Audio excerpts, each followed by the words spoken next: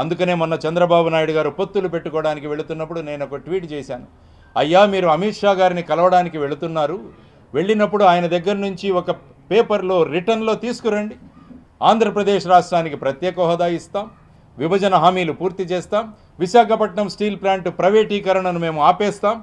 అడ్డగోలుగా విభజించిన రైల్వే జోన్ని పునరుద్ధీకరిస్తామని నాలుగు వాక్యాలు మీరు రాయించుకోరండి. వచ్చి మీరు చూపించండి అప్పుడు మీరు పొత్తులు పెట్టుకోండి. ఆంధ్రప్రదేశ్ ప్రజలు ఆహ్వానిస్తారు. అవ్వలేదు. రెండు రోజులు అక్కడే ఎదురు చూశారు. ఎప్పుడు సమయం ఇస్తారా? ఎప్పుడు సమయం ఇస్తారా అని. అంటే స్వప్రయోజనాలు ముఖ్యం కానీ రాష్ట్ర ప్రయోజనాలు ముఖ్యం కాదన్నది మనందరికీ తేలిపోయింది.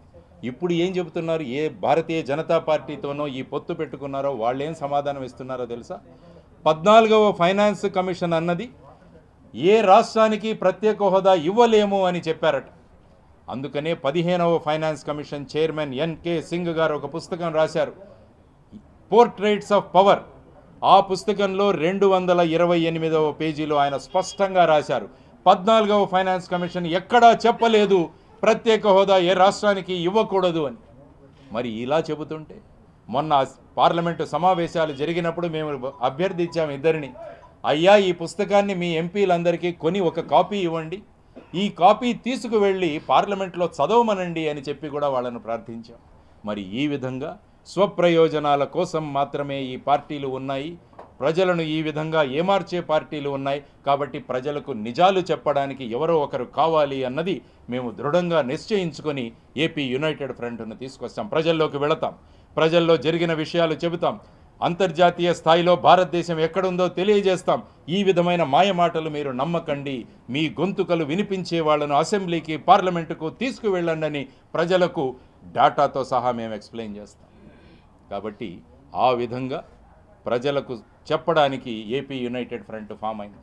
కాబట్టి మీ మీడియా మిత్రులందరికీ నేను తెలియజేస్తున్నాను.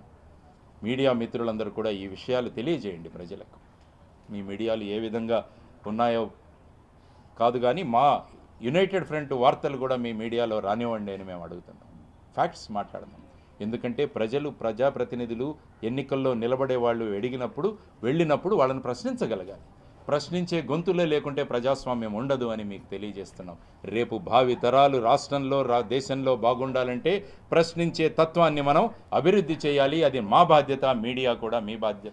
కాబట్టి అందరం కలిసి ఒక సుస్థిరమైన ప్రజాస్వామ్యాన్ని తీసుకొద్దామని ఏపీ యునైటెడ్ ఫ్రంట్ ఏర్పాటు చేయడం జరిగింది.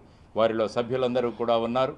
వారి వారి అభిప్రాయాలను కూడా వ్యక్తం చేస్తారు. కాబట్టి రాబోయే ఎన్నికలు చాలా ముఖ్యమైనవి మనకి. ఈ ఎన్నికల్లో గనుక మనం జాగరూకతతో లేకుంటే రాబోయే తరాలు నాశనం అయిపోతాయి ఎందుకంటే ఎప్పుడు కూడా ప్రభుత్వాలు ప్రజలు ఆనందంగా నిద్రపోయేటట్టు చేయాలి. కానీ ఈ ప్రభుత్వాలు ప్రజలను మత్తులో ఉంచుతున్నాయి. కాబట్టి ఈ మత్తులో నుంచి ఉన్న ప్రజలను మరమ్మత్తు చేయడం చాలా అవసరం. ఈ మరమ్మత్తు చేయడానికే పుట్టింది ఏపీ యునైటెడ్ ఫ్రంట్.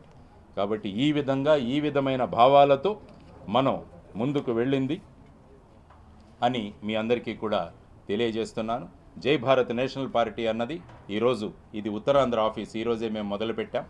ఆ తరువాత ముఖ్యంగా నేను విశాఖపట్నం నార్త్ అసెంబ్లీ కాన్స్టిట్యుయెన్సీ నుంచి ఈసారి నేను పోటీ చేస్తున్నాను. ఇక్కడ నుంచి నార్త్ అసెంబ్లీ కాన్స్టిట్యుయెన్సీ. ఇద్దరు రాజులతో ఒక సామాన్యుడు తలబడబోతున్నాడు. ఇద్దరు రాజులతో ఒక సామాన్యుడు తలబడబోతున్నాడు. చూద్దాం విజయం ఎవరు.